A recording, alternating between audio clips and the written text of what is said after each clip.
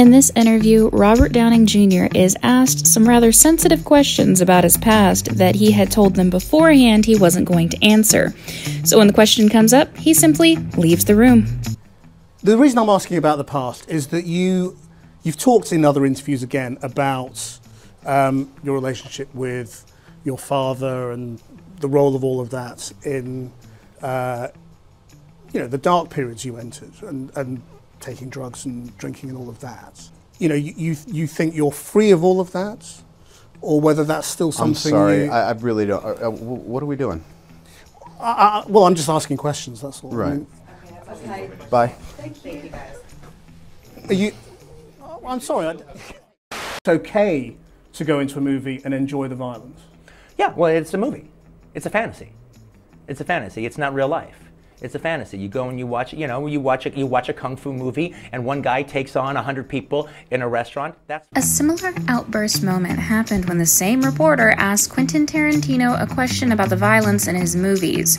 Quentin was none too impressed and had a few choice things to say to the reporter. But why are you so sure that there's no link between enjoying movie violence and enjoying real violence? I don't. I. well, I'm going to tell you why I'm so sure. Do not ask me a question like that. I'm not going to. I'm not biting.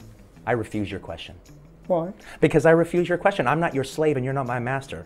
You I'm can't just- make me dance to your tune. I, I can't am not. I'm not a monkey. I I'm can't not, make you answer anything. I'm just. Yeah, I'm well, and- asking you interesting and, questions. And I'm saying, and I'm saying, I refuse. Okay. Well, no, I was just asking you why. That's fine. Um, In this interview for The Beauty and the Beast, Emma Watson is asked a rather personal question about what her fans have been telling her due to her views on feminism and her personal look.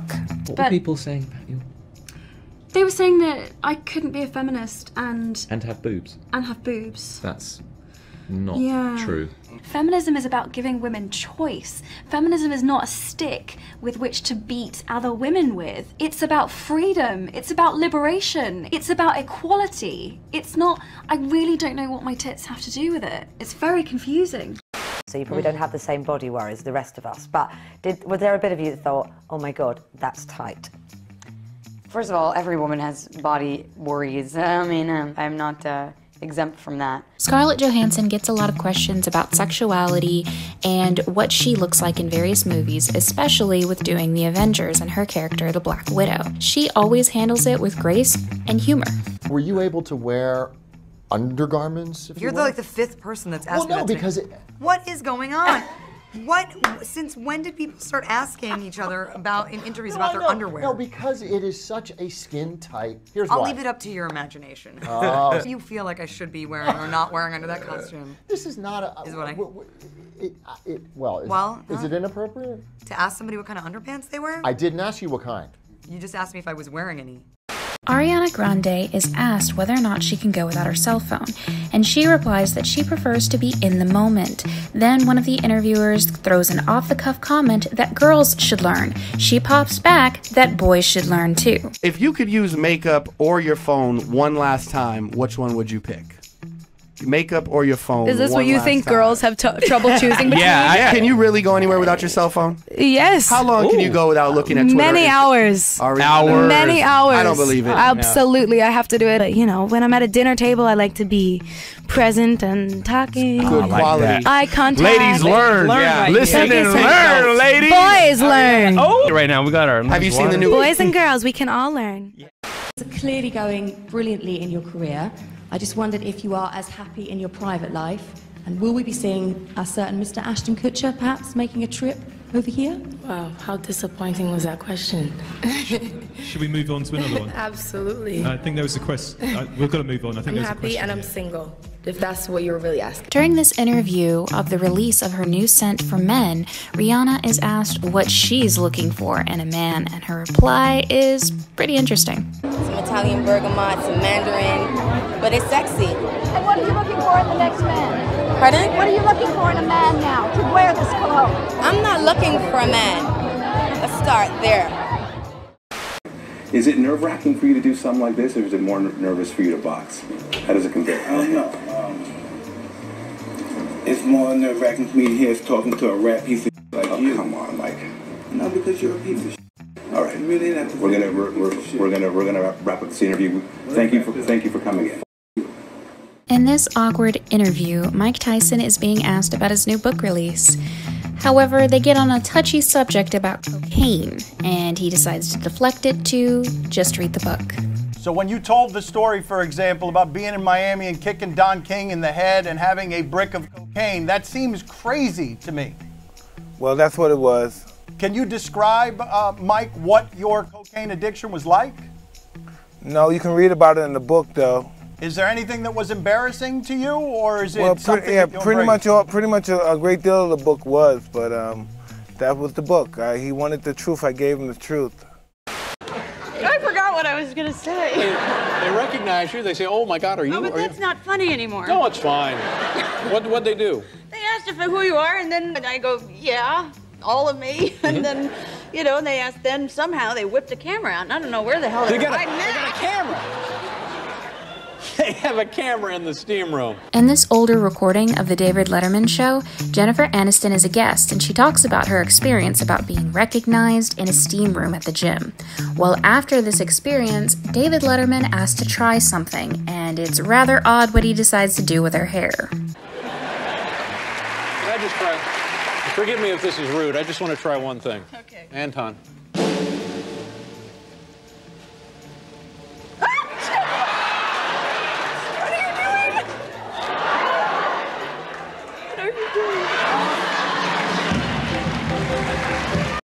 An LGBT news organization. And our question is for Tom Hardy.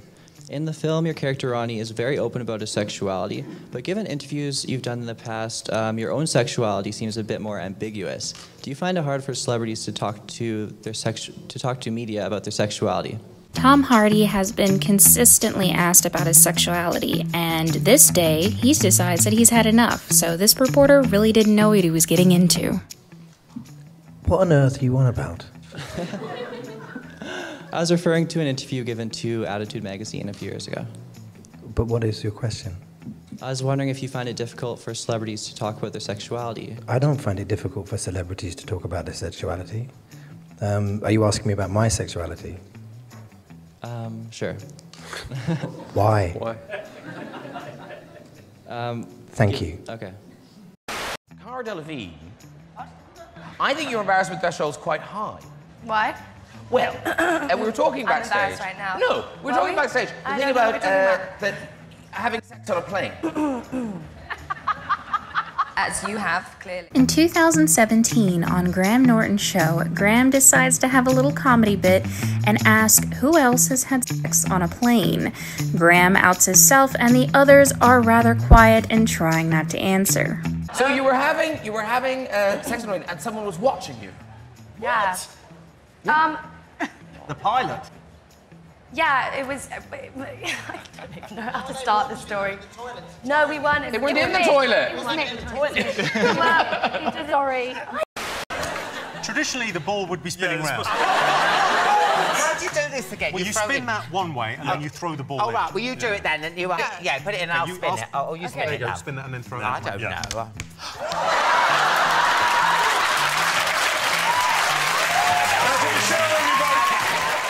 On this talk show, they're playing a game in which they have to take the ball and throw it around the roulette table. Well, Ariana ends up dropping the ball, and one of the other guests comments how he thought she would be better with balls. They then talk about their odd talk show experiences, and the same gentleman talks about meeting Cameron Diaz when Ariana gives this clap back. In my, in my head, you had one job. In my head, you were so much better with balls. She was wearing this sort of sheer top. Oh. And there with her man, sort of just backstage, just about to go on, she went. Did you "Oh." imagine how she'd be with balls as well?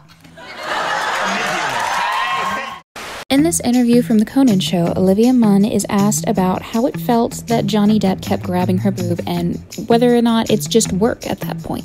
Like in that big dance scene, there's a scene where at the end of everything, he's got to touch my breast every time and just like hold his hand there, which can be Wait a minute, what was that all about? Um, it was in the script. it's one of those. Are you weird- sure it was, or had he pencil? was it in pencil and it looked a lot like It was his in- handwriting? It was in,